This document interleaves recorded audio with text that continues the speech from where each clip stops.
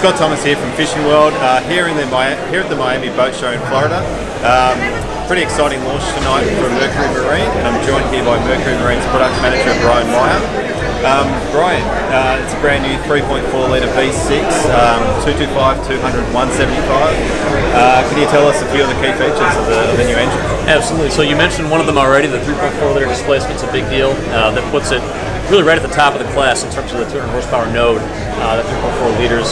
Uh, that obviously translates to performance as well, right? So especially when you combine that high displacement with the, the weight of this engine, this is the lightest weight engine at the 200 horsepower node and 225 and 175.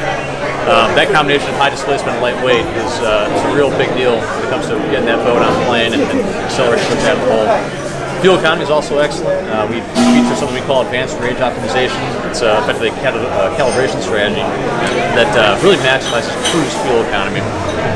And there are a number of other features that are kind of uh, a little below the radar, but like our access door that allows for easy maintenance and service. You can check uh, oil, fill oil without having to remove the top cowl.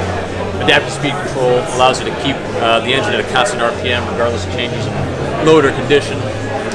Uh, idle charge battery management, another one, so it prevents boaters from draining their batteries. So really a lot of different things that uh, we can talk about this engine. Yeah, yeah.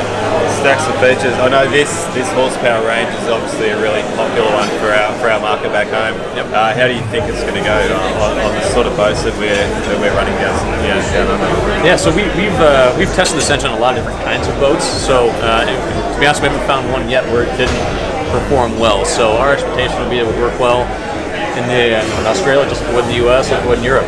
Yeah. Uh, a lot of different boat types, commercial or recreational. Yeah, yeah. Excellent. Oh, it's stacks of features. Where um, so far I like, like what I hear, but tomorrow morning we're going to be out on the water testing it, and uh, we'll bring you more then. So stay tuned to our website, Facebook page, Instagram, and we'll bring you more over the next couple of days. Thanks, Brian. Thank you.